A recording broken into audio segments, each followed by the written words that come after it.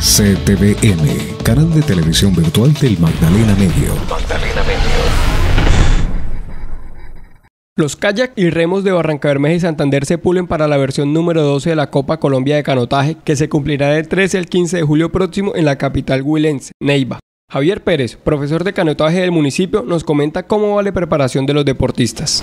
Todo el equipo de Santander es netamente barranqueño. Todos los deportistas son de aquí de Barranca y todos eh, y entrenamos aquí en la Ciénaga San Silvestre.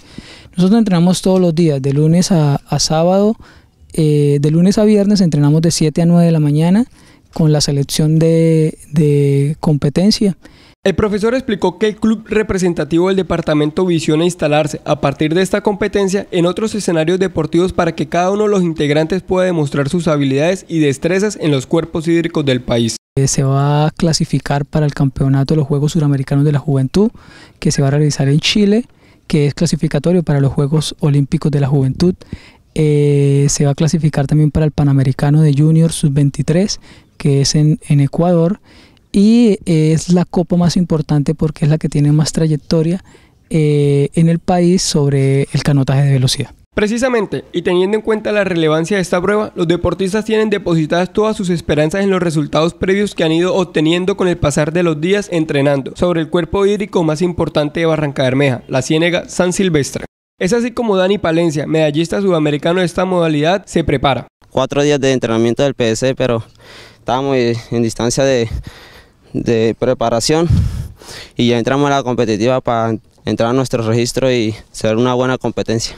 En la grupal estamos proyectando un bote equipo con compañero José Rubio o Héctor Morales para si podemos clasificar al Panamericano de calle en Ecuador. Finalmente, el profesor Pérez extendió una invitación a los jóvenes para que se animen a participar en este deporte, cumpliéndose los entrenamientos de lunes a viernes desde las 7 a las 9 de la mañana para la modalidad de competencia y en las tardes de 2 a 4 para las escuelas de formación y de 4 a 6 de la tarde para las selecciones. Estimado usuario, estar al día es posible.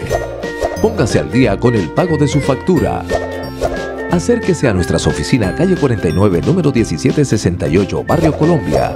Podrá llegar a un acuerdo de pago y ser exonerado del 100% del valor de los intereses por mora. Únicos requisitos, copia de cédula de ciudadanía, factura de los servicios de acueducto y alcantarillado. Estar al día es posible. CTVM, canal de televisión virtual del Magdalena Medio. Magdalena.